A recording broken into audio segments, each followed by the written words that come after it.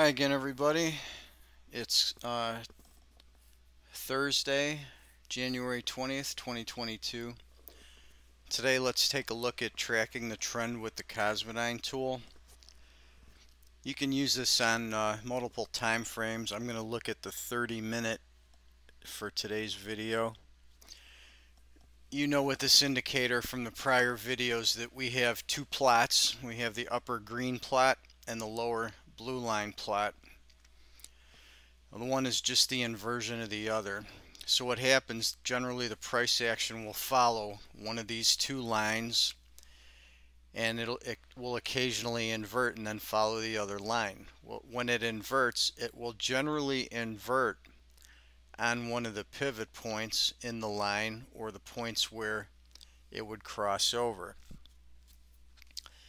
So on the chart that I'm showing here, I'm picking this up from uh, last night on this pivot high.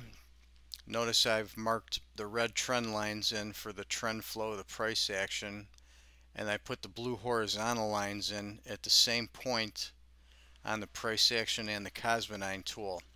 So I'm going to move my cursor over the blue vertical line so you can see that I'm in alignment on the price action panel and the indicator panel.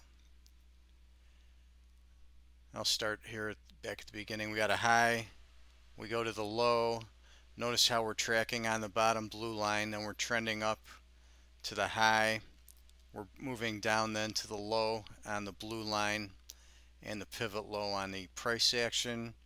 We get another push up to this high on the blue line then we track down for about two and a half three hours and we bottom out here and here's where we uh, invert. Now we move here and we start to follow the blue line and now we're tracking up to the current uh, point in time.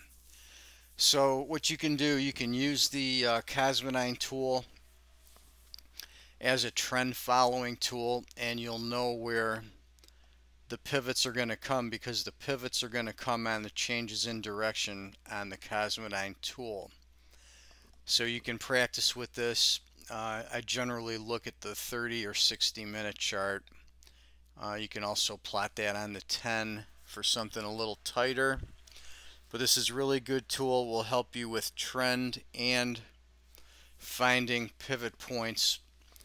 For the pivot points you want to find uh, again, we like to use all the tools together for confluence between these. So you'll look for these Cosmodyne pivots to align with the uh, pH or the rainbow or the uh, blue line or even the gray line uh, peaks and valleys on the Astro Excel tool.